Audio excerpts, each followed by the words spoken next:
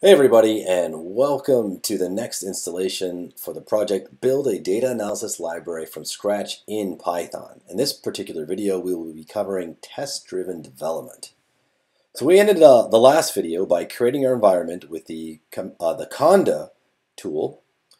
Um, we did deactivate the environment at the end but I went ahead and uh, reactivated it. So make sure uh, Pandas Cub is always active whenever you're developing uh, in this project. Now if you scroll down just a little bit, you'll see that the next section is on test-driven development with PyTest. So what exactly is test-driven development?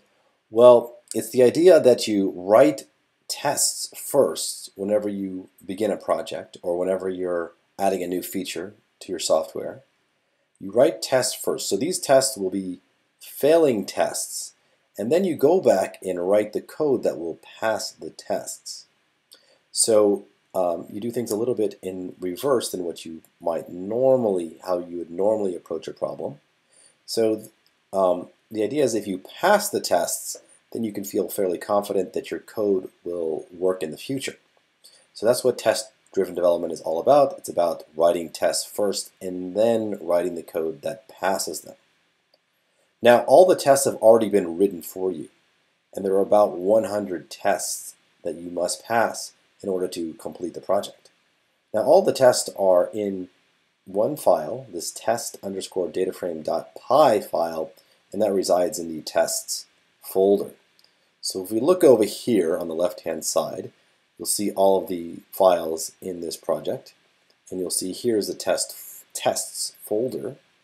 So go ahead and open up this test uh, dataframe.py file. Now, it's not necessary to understand every last thing in here. You're actually not going to be editing this file whatsoever. But it is important to understand the structure of this file and um, how the tests are actually created. So the way this file is structured is that it, it is, uh, there are a number of classes. So, um, so for instance, there's a test data frame creation class, and then underneath this there's a test selection class, now those aren't the individual tests. The individual tests are the actual methods within inside each class.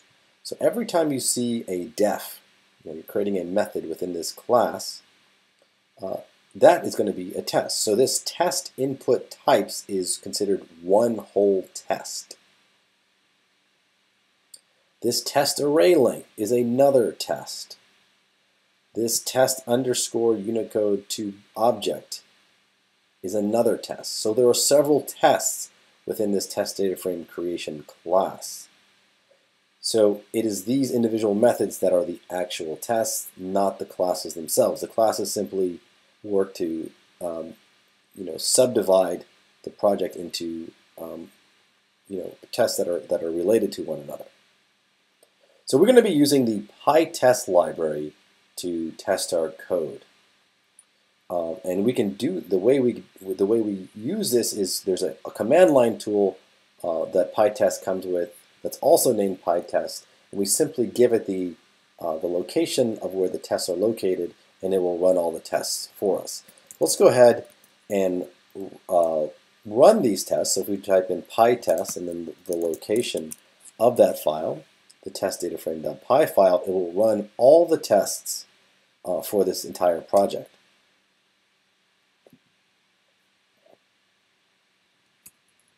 Excuse me. I had uh, cheated and, and gave you, uh, tested the answers. So let's go back and run all the tests. So they will all fail if you do this correctly. So you should have seen a bunch of red uh, letter Fs that uh, filled the screen. So it says here 96 tests have failed. So there, there were uh, not exactly 100, but there's 96 total tests. They have all failed. None of them have passed. So the way this project works is that each step you're going to write a little bit of code and then you're going to test that particular code to see if it runs. Now, PyTest allows you to test um, uh, you don't have to you don't have to test all you don't have to run all the tests in this file.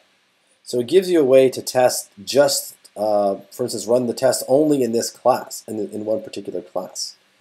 So the way you do that is by running the same command, but follow it up with two colons, and you say test data frame creation, for instance, if you would like to test just this class. And so it will only run these nine tests in this particular class. So they've all failed again. Now you can also just run a single test by appending two more colons than the name of the, the name of that one particular test that you want. So here we can run test input type. So it's this one test that we're going to run. And you can see here that we got a red F and that we have one failed. So we failed all of the tests. So we'll have to pass every single one of these tests in order to complete the project, like I said. Um, and that's how you would that's how you would run one single test. Now, PyTest has this idea of automated test discovery. There are rules for this, which are predicated upon the actual names of the files and folders and classes and tests uh, with, within those files. So uh, if you're interested in this, these rules for automated test discovery, you can go ahead and click on this link and find out more uh, there. So we, it actually is not necessary to go ahead and write out the exact file location. If you just call PyTest itself, it will find all those tests. You've collected 96 tests, and they're all failing. And so that is called automated test discovery. And so we will be using PyTest frequently throughout the rest of the project in order to see if we have uh, written the code uh, to correctly uh, pass the test. All right, so that's it for this one.